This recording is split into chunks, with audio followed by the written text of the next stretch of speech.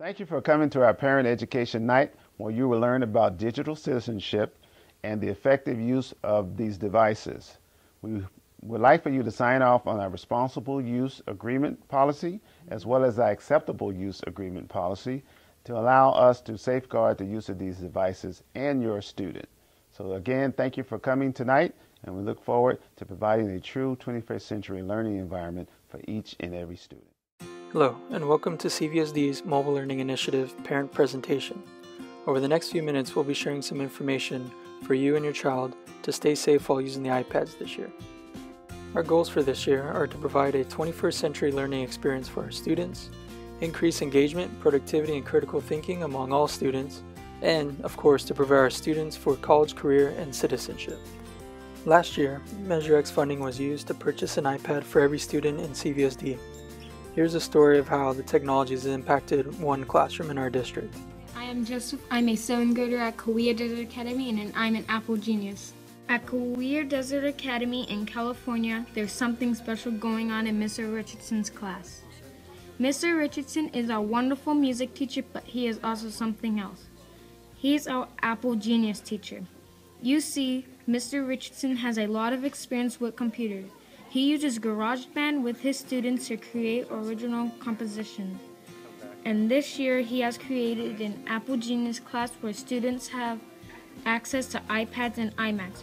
We're not only creating projects such as Scientific Method and Spaceship Endeavor, we're also learning how to help other people with technology, including other students and even the teachers at our school.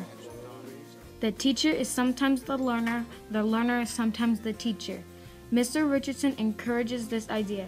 Sometimes he'll ask us to find the answer to a question and then explain it to him. For instance, once we were using Educreations and Mr. Richardson didn't know how to change the color of the text, and he told us to find out and then tell him, and we did. We like being the Apple geniuses on campus.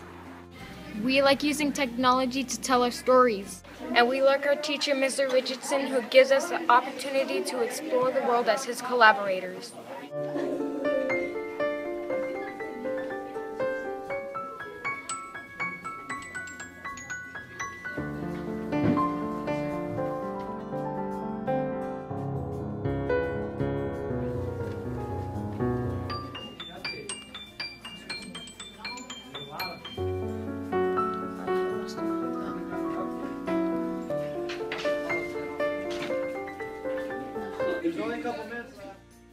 When your child is using the iPad online, here are some things that they should know. They should know that they can only access age appropriate apps and websites. They should use strong passwords and keep them a secret. They shouldn't share personal information to unknown sources, and they should always be cautious when sharing information. When using social media, your child should know that what they post lasts forever and that other people are watching from around the world. They should also know that what they post could impact college applications and chances for future employment. While your child is using their iPad, they should know where it is at all times. They should know that if they drop it, it could break very easily. They should never leave it in temperatures that are too hot or too cold. When they clean it, never use water or Windex, use a microfiber cloth. And, of course, never leave it in a vehicle. Your child should also know that when using the iPad, they must agree to follow all rules outlined in the school handbook, district handbook, and district acceptable use policy. Should they violate any rules, the district does have the right to collect, inspect, and repossess any iPad at any time.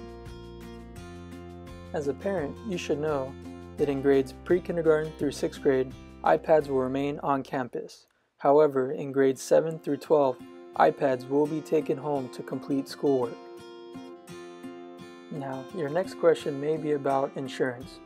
The district will be providing supplemental insurance at the price of $20 for the entire school year.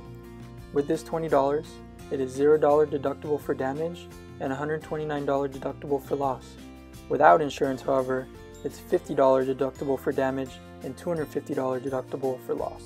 It's also important to know that cases, cords, and charging bricks are not covered by the insurance. You should also know that in our second year of using iPads in CVUSD, local law enforcement agencies are continuing to make sure that our students are safe while using the iPads. Now, before we go, here are some iPad tips for you, the parent. Make sure your child charges their iPad every day. Keep iPad charging in an area other than your child's bedroom. This will prevent them from staying up all night using their iPad. Number three, schedule no iPad time during family events such as dinner. Next, monitor what your child is doing on the iPad when they're using it. Know your child's Apple ID and passwords to their accounts. Discuss what they did in class every day. And always read and follow the AUP and RUP guidelines. Also, do not leave the iPad in your car. If you do, keep it out of sight by leaving it in the trunk. And last, make sure your child is safe at all times. Do not allow them to use their iPad in visible areas like the street or the park. Thank you for taking the time to watch this informational video. It's going to be a really exciting year. Now before we leave, here's some more information from Superintendent Dr. Adams. Also available on our website will be information to allow students, parents, and family members to insure their own Apple devices. Go to our website for more information.